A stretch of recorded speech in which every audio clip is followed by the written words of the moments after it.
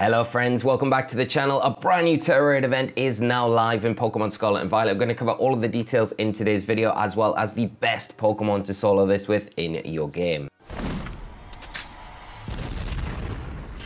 So the brand new Tera Raid event for Fluttermane and Iron Jugulis is now live in Scarlet and Violet. It will be running over this coming weekend, which is, as of recording this video, from the 26th of January until Sunday the 28th. So you've only got a few days to take advantage of this one.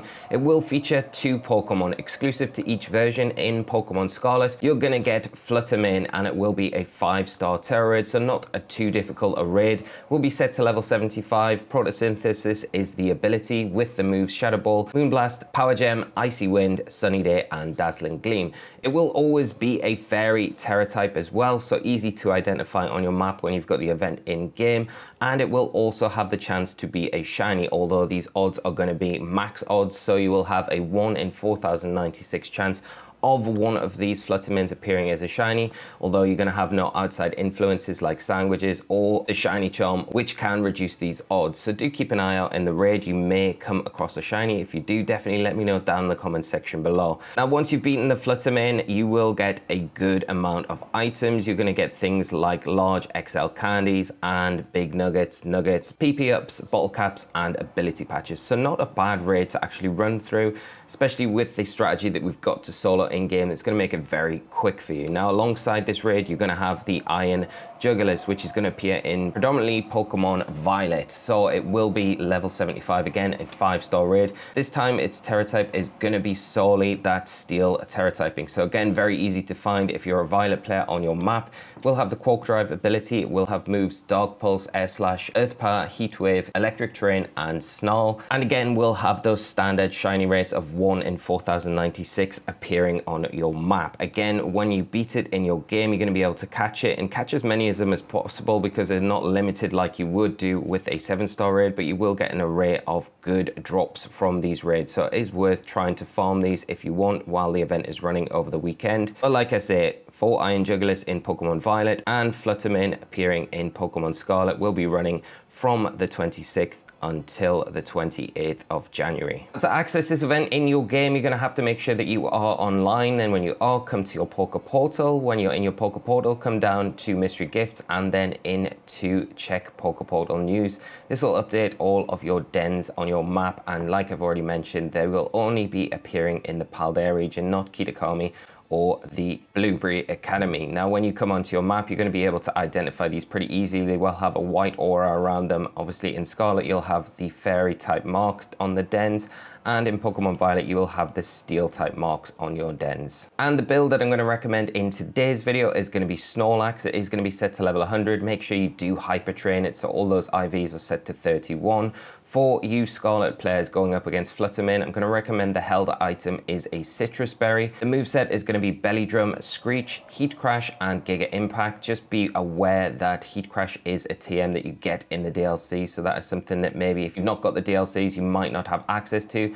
That can be changed for something like High Horsepower, Earthquake, or even Hammer Arm. Ability is going to be Thick Fat, and the EV spread is going to be 252 EVs in attack, 252 EVs in special defense, and the remaining six EVs put into that HP stat. So your stats should look like this after you've trained the Snorlax. And it's worth noting as well, Snorlax is an exclusive Pokemon to Kitakami in the DLCs, but it is transferable through from Pokemon Home. So if you do have a copy from a previous generation, you can transfer it into Scarlet and Violet that way.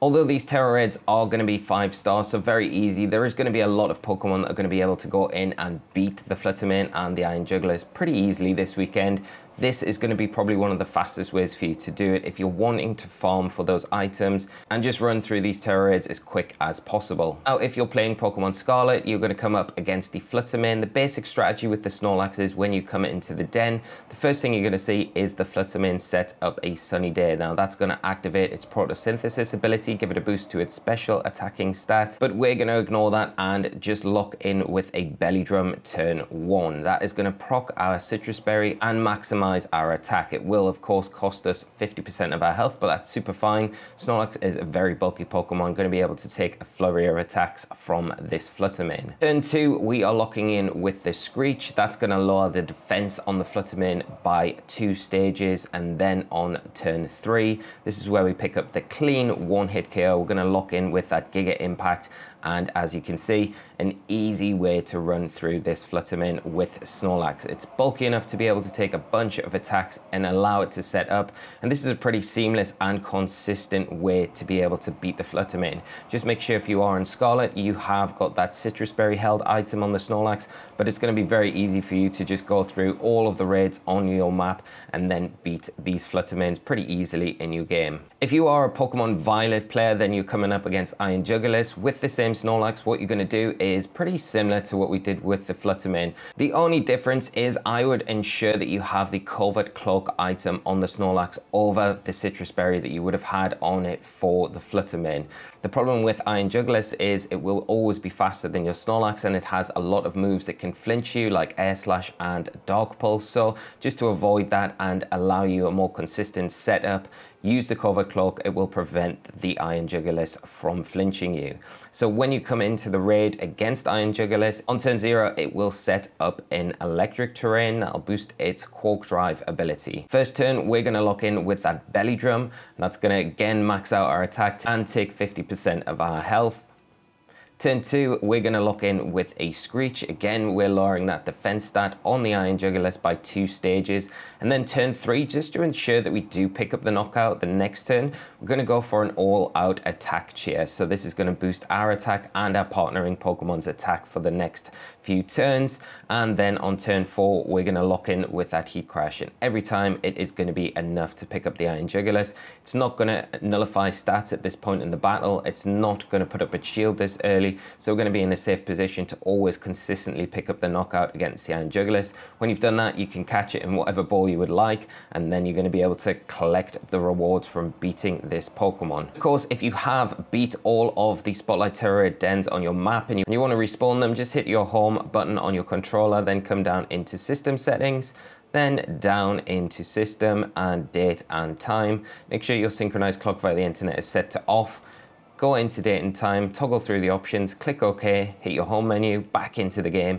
and you'll see all of the dens will respawn and you'll have a new batch of the Spotlight Tera Raids for you to go and farm over this weekend. Like I mentioned, these are five star Tera Raids, so not anywhere near as difficult as seven star Tera Raids that we would normally see. So there are going to be a bunch of Pokemon that you're going to be able to use in this event over the weekend, things that you've already got built in your game. But if you do want something that is going to be very fast and consistent, the Snorlax is definitely the one for you. And some of you might really like Snorlax, so it gives you an excuse to use it in these dens, but a very consistent Pokemon that's going to make running through farming these items very quick for you over this weekend. Of course, we do have the event for the mass outbreaks as well running at the same time as this event for the same time period from the 26th until the 28th. So if you want to take advantage of that in game, make sure you do it over this weekend while it is running. And hopefully when this event ends on Sunday night, that will indicate the announcement of our next 7-star Tera Raid event. Let me know what you think the next 7-star Tera Raid event will be in Scarlet and Violet. I am lost. I don't know what we'll be doing, but maybe maybe along the lines of another Gen 3 Pokemon. We'll have to wait and see for hopefully that announcement happening on Sunday. Of course, we will cover it as soon as that does go live. But that is everything for today, friends. Obviously, I'm in Liverpool this weekend for the regional championship, so not in my normal surroundings. So this is the reason why it looks like I'm in a hotel room because I am. So if you are free over the weekend, do catch some of the broadcast. It's going to be a really good event and uh, enjoy the Tera Raids and the mass outbreaks while they're running Scarlet and Violet. I hope you have a great weekend. Hope the build has been useful. If it has, do drop a like on the video and do subscribe to the channel to stay up to date with all of our Pokemon Scarlet and Violet content. Thank you so much for tuning in. As always, take care of yourself more importantly than anything. I'll see you all in another video very soon. So until then, friends, take care and bye-bye.